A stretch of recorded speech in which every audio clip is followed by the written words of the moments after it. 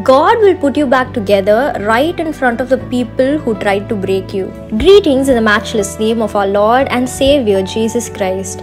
Isaiah chapter 40, verse 31 says, But those who hope in the Lord will renew their strength. They will soar on wings like eagles. They will run and not grow weary.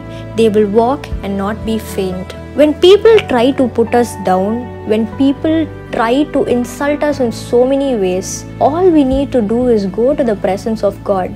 They might try to tear you apart and break you down to the smallest of bits, but Jesus is your creator. Just go to Him and cry your heart out. Tell Him how you feel. Tell Him what you are going through because He can understand. Talk to Him like how you would talk to a friend, and He will turn your sorrows into joy.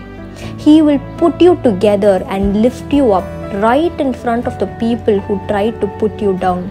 Just like how God raised David as a king right in front of his brothers and his own father who thought he was just a shepherd boy.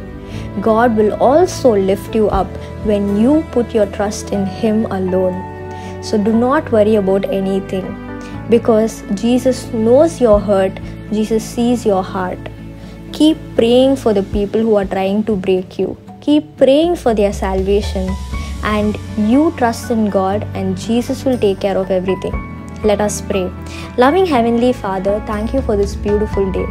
Thank you, Lord Jesus, that you are going to lift us up right in the face of the people who tried to put us down. Let your salvation, Lord Jesus, reign through our life. Let your grace and your mercy and your showers of blessings fill our life. Father God, help us to stand as testimonies, Lord Jesus, for you. In Jesus' mighty name we pray. Amen. Have a blessed day. God bless you.